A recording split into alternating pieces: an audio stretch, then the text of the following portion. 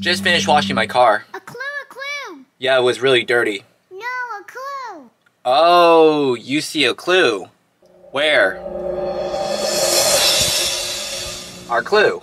And it's Cho Sang Woo. Player 218. Now what do we need? Notebook. Right. We need our notebook. So, let's draw Cho Sang Woo in our notebook. Let's start by drawing a circle for his face, eyes, glasses, his hair, nose, the mouth,